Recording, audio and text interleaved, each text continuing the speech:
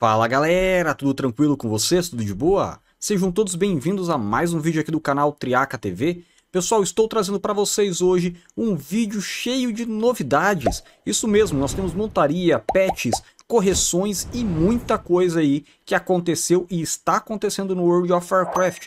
Então já deixa aquele teu like maravilhoso, teu comentário, clica no sininho para ficar por dentro das novidades e bora lá pro vídeo.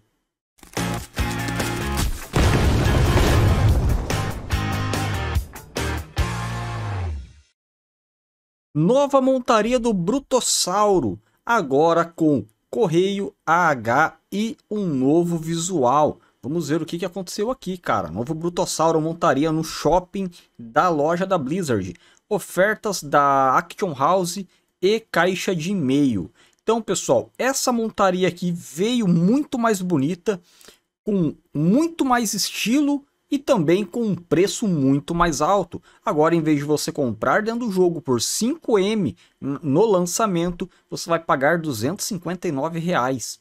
Valor meio caro, meio salgado, né? Na casa de, de leilões é, do mercado negro, você paga em 9 milhões 999 é, de gold para poder conseguir a montaria antiga lá no mercado negro. Mas será que vale a pena esses 259 reais, cara, para uma montaria dessas? Para quem é colecionador, eu até concordo se a pessoa tem muitas montarias, está aí querendo ter todas, tudo bem, é um valor aí que você vai estar tá integrando a, a tua coleção. Porém, para quem vai comprar e não trabalha aí com a parte de casa de leilões, não fica o tempo inteiro comprando e vendendo itens, é, enfim, eu acho que é um valor absurdo para você jogar fora só por ter a montaria, tá? Mas eu vi muita gente aí que falou, ah, mas eu tinha o saldo lá na Benet e eu comprei. Pô, cara, é, na minha opinião, você compra uma expansão, compra mensalidade aí e tudo mais, anual, entendeu? Eu acho que o valor é, é um absurdo mesmo da montaria e para algumas pessoas não teria necessidade. Mas mas é muito bonita e é lógico que você andar no meio da cidade aí com ela chama muita atenção, né? E cada um faz o que bem entende com seu Gold, com seu cartão de crédito. A Blizzard está vendendo um brinquedo por 18 dólares e se você comprar ele você ganha um pet dentro do jogo. É o Ice Murloc Funko Pop e também o pet dentro do game. Você vai achar lá no link da Blizzard Gear Store itens exclusivos, tá? Então você pode clicar ali no link que eu vou deixar na descrição, vem aqui em Ice Murloc Funko Pop e em Game Pet, pode fazer a compra dele, tá? O pet dentro do jogo é este aqui. Para colecionador vale muito a pena e principalmente para quem gosta aí de ter os bonequinhos em cima de prateleira, aquela coleção maravilhosa da Blizzard, né? Vale muito a pena. São 18 dólares, lembre que tem taxas e tem frete para você poder importar ele para o Brasil. O novo pet na loja, pessoal. É, vocês sabem que eu nunca peço para vocês comprarem nada na loja, eu sempre falo que o valor é absurdo, eu sempre falo que não vale a pena, a menos que vocês sejam colecionadores. Mas dessa vez, pessoal, quem tiver condições financeiras e puder fazer essa compra, eu agradeceria de coração. É, essa instituição aqui, a Curie do Shane, também agradece de coração, é uma parceria que a Blizzard fez com eles. Um jogador de WoW norueguês, ele está com distrofia muscular, uma doença bem parecida com a que eu tenho, tá? Porém, o estado dele é muito pior do que o meu. E a Blizzard resolveu fazer uma parceria com a venda deste pack, deste pack aqui, tá? É, todo o dinheiro arrecadado com a venda dele será destinada a Curie, a Curie do Shane, para fins de pesquisas e estudos baseado nessa doença da distrofia, tá? Aqui no Brasil, pessoal, quem assiste os vídeos aí da minha playlist sabem que a gente não tem estudo aqui no Brasil. Estão sendo feitos estudos no Brasil agora, com base nos meus exames, em todo o meu processo, tá? E aqui no Brasil nós já tivemos a notícia de duas pessoas que foram curadas da distrofia simpática reflexa. Graças a Deus, duas pessoas já foram curadas. Eu, infelizmente, não, não serei curado. O movimento da minha mão já era, pela questão de tempo, desde 2016, tá? Mas, cara, é, quem puder comprar e dar uma força, vocês vão estar ajudando um jogador de WoW e vão estar ajudando várias outras pessoas lá na Noruega que vão estar recebendo esse dinheiro para fins de pesquisas, estudos, para tentar aí achar uma cura para essa doença, tá? Então, quanto mais países estiverem atrás dessas pesquisas, melhor é e pode até evitar que no futuro seja alguém da nossa família aí que esteja passando por isso. Então, quem puder ajudar, mais uma vez. Foi corrigido um bug onde fazia com que os Rugs Otilau, os fora da lei aí, conseguissem dar um dano gigantesco. E medidas serão tomadas, hein, galera? Segundo a Blizzard. Rugs Otilau teve correção de bug, ações contra os abusadores aí de exploiters serão tomadas. Será que vai mesmo? A Blizzard já corrigiu o problema, tá? No dia de ontem, na parte da noite. Um bug que permitia com que os rugs, eles, em algumas condições aí, eles conseguissem dar dano muito alto, tá? E isso foi considerado um exploit. E a Blizzard já, já estava trabalhando, já conseguiu aí remover esses exploits. Todas as runs serão removidas aí do ranking, tá? Todas as, as runs que foram completadas e ações contra as contas serão tomadas e serão medidas apropriadas. Será que é ban, cara? Será que é 7 dias aí de ban? 30 dias de ban? O que será que vai acontecer? Vamos ver se vai ser novas notícias daqui mais alguns dias. Vários jogadores que jogam aí de Xamã Elemental foram até o fórum da Blizzard para reclamar pós-mudança dos status para maestria. Lógico que deu uma melhorada desde que você tenha maestria alto, porém temos um pequeno problema aí, ou talvez gigantesco. Itens de maestria foram severamente limitados dentro da raid Black Hook Dips na raid de aniversário do WoW. Lá, pessoal, só tem um item que dropa com maestria, e é esse trinket aqui, é o Burst of Knowledge, ou então o Burst de Conhecimento, tá? É o único item da raid que dropa aí com maestria. Nós temos uma lista, pessoal. Sim que resolver carregar o site do Wallhead, a gente tem uma lista aqui dos itens e nenhum deles tem maestria, cara. E a galera que joga de Xamã simplesmente já desanimou de querer ir lá fazer a raid, tá? Já deu a própria notícia aqui do Wallhead fala que já deu uma grande diminuição de jogadores fazendo a raid por questão de gear, tá? É, a reclamação lá do, do fórum da Blizzard tem a resposta de um GM onde ele diz que vai repassar para os desenvolvedores. Talvez a gente tenha mudança nesses itens aqui, ou talvez a gente até tenha a volta aí de mudança de status do Xamã. A gente tem que aguardar para a gente ter certeza, né? Essas informações não foram passadas o que eles vão fazer, mas é muito provável que eles adicionem alguns itens ou mude status de alguns itens aqui da raid. Ainda sobre a raid de aniversário do World of Warcraft, depois de muitos jogadores reclamarem no fórum sobre a dificuldade da raid, ela foi nerfada. Black Hook Dips, a raid de aniversário, foi nerfada, tá? Os nerfs aqui, pessoal, foram em todas as habilidades, tá? A maior parte dos, das habilidades dos boss foram nerfadas de 25 a 35% de dano, mas o escalonamento é, de grupo foi adicionado, tá? Então agora, olha só, o D7 o boss D7, com a habilidade Blade Storm, vai ter a distância reduzida para 15 jardas, antes eram 20. O General Angerford, com a habilidade Rings of Fire, vai ter o tempo de cast aumentado para 3 segundos, antes eram 1.5. O, o General Angeford vai ter a habilidade agora Fire Burst Grenade, Granada, né? Granada, acho que é isso o nome. O cast foi aumentado para 4 segundos, antes eram 3. Então já é um, um nerf absurdo, né? Absurdo não, porque já estava muito difícil. Tava bem difícil mesmo conseguir fazer a, a heróica, mais difícil do que a Nerubar Palace heróica, né? Então, com esses nerfs, provavelmente vai dar um, uma equilibrada para os jogadores aí conseguirem fazer o conteúdo mais facilmente.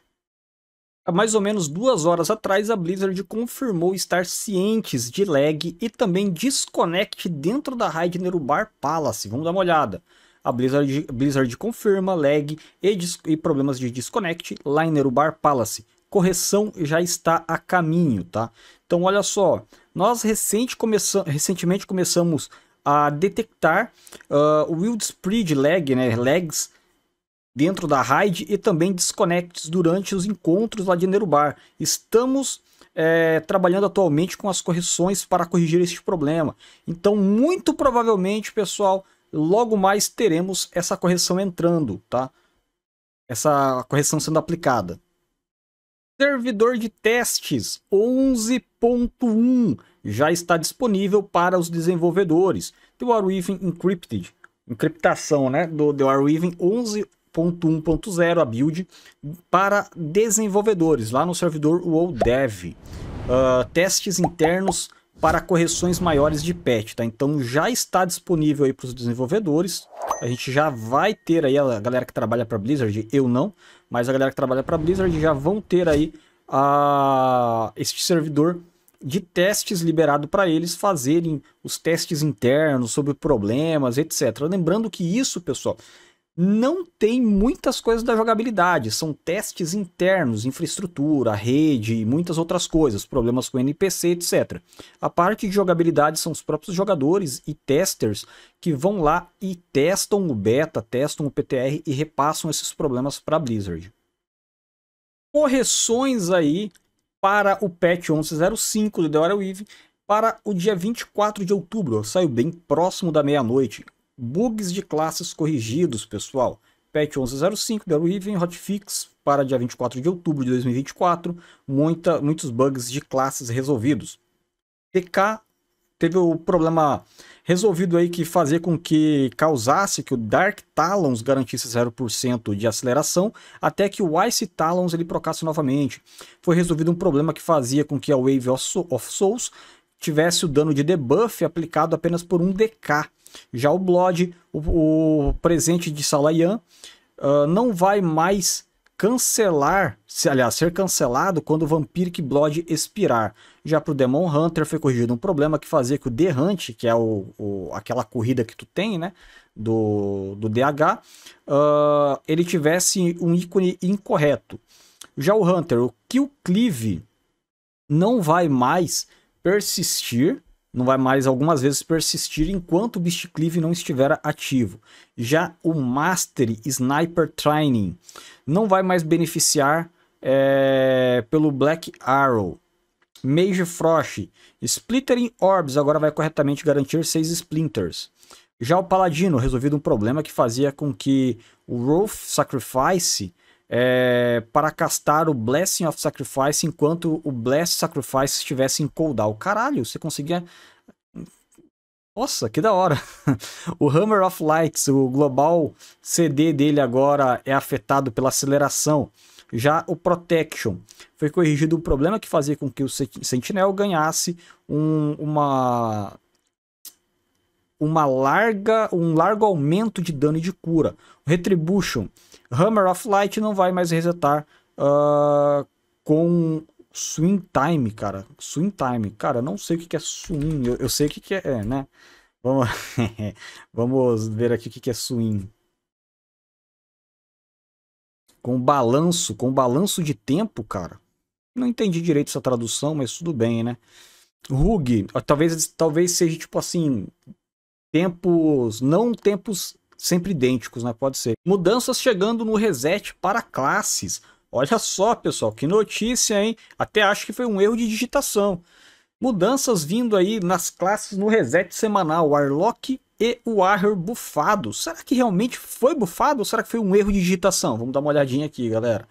A Blizzard então anunciou que os DKs eles vão ter o Blood Boil, dano aumentado em 15%, Hearth Strike, dano aumentado em 20%, Blo é, o Blood Plague, dano aumentado em 10%, Death Strike, dano aumentado em 20%.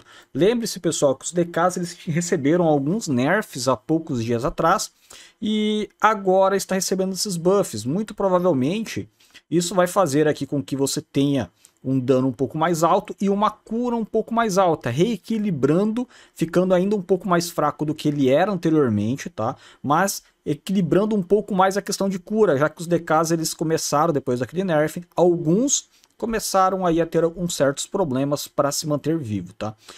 Uh, já o, o Sunline, que é o nosso talento heróico, o Vampiric Strike, as chances de procs foram aumentadas para 35%, eram 25%. A Essence of the Blood Queen, a duração foi aumentada para 25 segundos e não 20. Já o presente de Salayan foi aumentada a efetividade do Essência do Sangue da Rainha para 200%, antes eram 150%. O Druida Balance, pessoal, teve aí o Celestial Alinhamento e, e Encarnação, a Chosen of Eluna, a escolha da Eluna, uh, vai novamente resetar ao final dos encontros de raid. Antes já não estavam fazendo mais o reset. O dano de Starfall aumentado em 6%, Star Surge dano aumentado em 8%, Starfire dano aumentado em 5%, Wrath teve o dano aumentado em 10%, o Shooting Star e o Crashing Star dano aumentado em 20%, Sunseeker Mushroom uh, agora vai ser 12% menos efetivo, o Touch of Co aliás, Touch de Cosmos, a chance de proc foi aumentada para 15% para o e 22% para o Starfire. O Power of Gold Dreams, dano aumentado para 25%. Hutley the Stars uh, vai aumentar agora o dano da Starfall e da Star Surge em 8%. Antes eram 10%. A Lua Nova e a Meia Lua agora vão ter o dano reduzido em 5%. Xamã Restauração.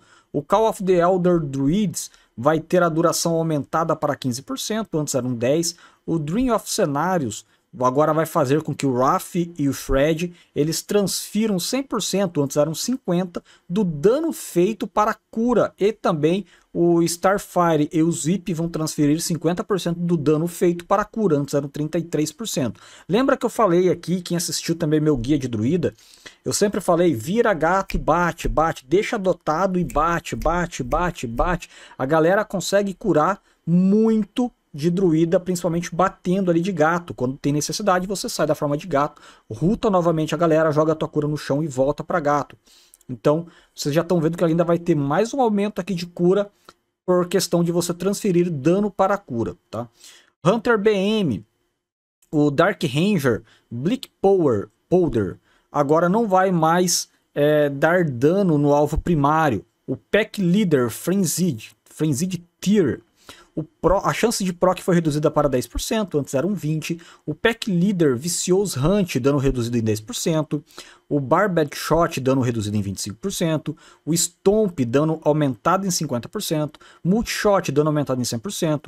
O Explosive Venom agora vai procar para até 3 stacks, antes eram 5.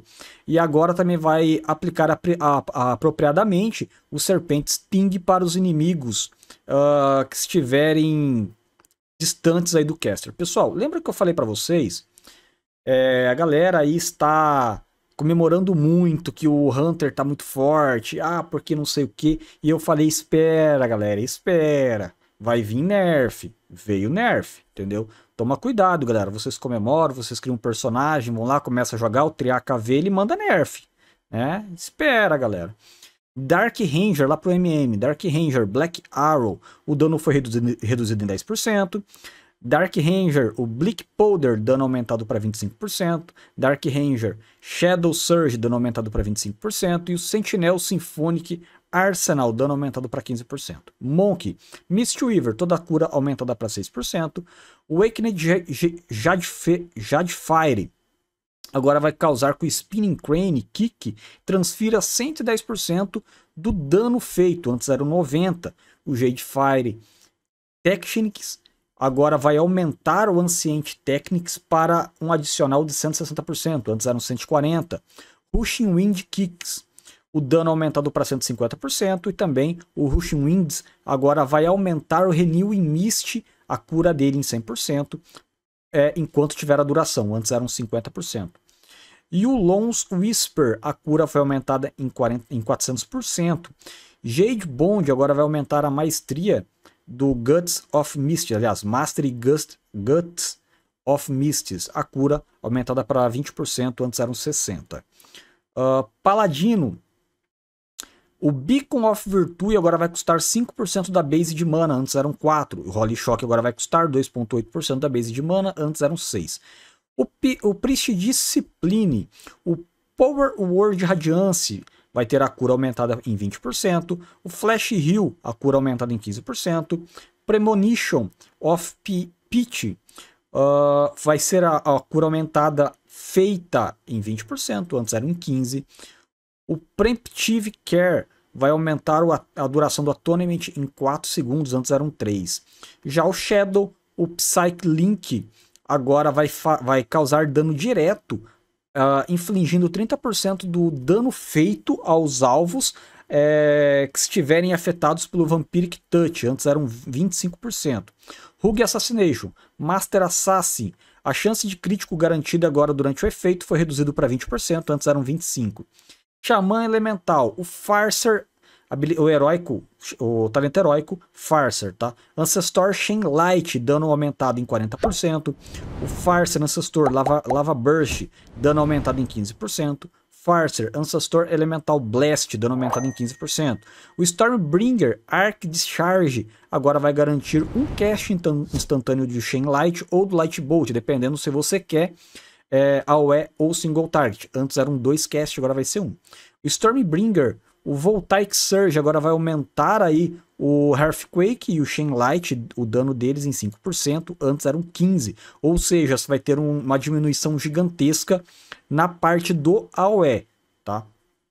O Echo Chamber agora vai aumentar o dano do Elemental Overloads em 20%, antes eram 40%. O Ascendência agora vai aumentar o dano do Elemental Overloads em 100% quando estiver ativo, antes eram 150%. O Preeminência agora vai aumentar a aceleração em 20%, enquanto a Ascendência está ativa, antes eram 25%. O Ice Fury agora ele vai aumentar o dano do Frost Shock em 200%, antes eram 150%.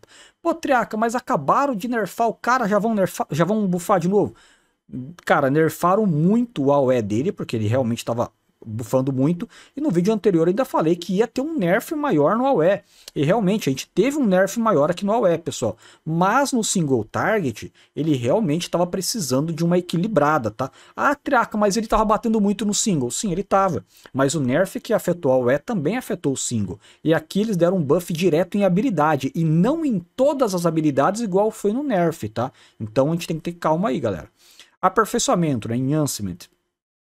Uh, o Lightning Bolt teve o dano reduzido em 10%, Chain Light dano reduzido em 10%, o Stormbringer Tempest dano reduzido em 15%, já o Restauração, o Farser Ancestor Chain Light dano aumentado em 40%, Farser Ancestor Lava Burst dano aumentado em 15%. O Warlock, pessoal, Affliction, o Hellcaller Wither teve o dano aumentado em 25%, o, Ag o Agony teve o dano aumentado em 15%, Corruption dano aumentado em 25%, uh, e um Stable Affliction dano aumentado em 20%. Demonology, o Dreadstalkers agora vai ter 100% de chance de gerar um Demonic Core, antes eram 50%. O Grimoire Felguard vai ter o dano aumentado em 125%, antes eram 60%. Hand of Gul'dan vai ter o dano aumentado para 25%. Cal Dead, Dread Stalkers, dano aumentado em 20%, em 20%. Destruction, Hellcaller, Wither, dano aumentado em, em 25%. Chaos Bolt, dano aumentado em, 20, em 10%. Immolation, dano aumentado em 25%. Incinerate, dano aumentado em 20%. Conflagrate, dano aumentado em 25%. Rain of Fire, dano, dano aumentado em 20%. Warrior, todos eles, dano de Execute aumentado em 10%. Ah, os Warrior vão ficar felizes, né? Arms, o Colossus, Demolish, Single Target, dano foi aumentado para 15%. O Slayer, o Hip of Storm, dano aumentado para 25%. Slayer, Slayer Strike, dano aumentado para 15%. Mortal Strike, dano aumentado para 15%. Overpower, dano aumentado para 15%. Dreadnought, dano aumentado para 15%. O Cleave, dano aumentado para 20%. Já o Fury, Slayer Hip de Storm, dano aumentado para 25%. Slayer, Slayer's Strike, dano aumentado para 15%. Mountain Tane, Light Strike, Lightning Strike, dano aumentado para 30%. Blood Thirst, dano aumentado para 20%. Bloodbath, dano aumentado para 20%. Rampage, dano aumentado para 10%. Já o Protection, lá no Talento Heróico Colossus, o Demolish Single Target, dano aumentado para 15%. Pessoal, olha só, eu não queria dizer nada, mas já tem muitos DKs, muitos mages e muitos hunters lá no fórum da Blizzard, tá? Chorando, tá? A última vez que os Warriors, Pala, a galera foi chorar lá no fórum, o DK e o mage tomou nerf. Longe de mim desejar o mal, né? Mas se eu fosse vocês, eu esperaria um pouco para começar a dar risada. Pessoal, a gente teve uh, algumas alterações aqui para o PVP também. Não vou ler do PVP, tá? Aqui no PVP a gente também tem muita coisa. Eu não vou ler do, do, do PVP, porque eu não estou fazendo PVP. Então, se eu ler e comentar alguma coisa aqui, estarei aí provavelmente falando abobrinha. Então, vou deixar o link na descrição do vídeo. Vocês podem lá, desce lá embaixo na descrição. E vocês vão ter o link, vocês podem traduzir para português também com tradutor de página ou jogar no Google. E, e aí vocês vão ter aí as informações que vocês precisam. Essas foram as notícias de hoje, pessoal. Espero que vocês tenham gostado, espero que vocês tenham curtido. A gente se vê num próximo vídeo que vai ser também de correções e nerfs. Já estou começando a preparação aqui, mas não se preocupe não, pessoal. Dessa vez ainda não vai ter o Warrior, talvez no próximo, tá? Então, muito obrigado a todos pela participação, pelo apoio de vocês. Obrigado aí por tudo mesmo, de coração, galera. Um forte abraço e até mais. Fui!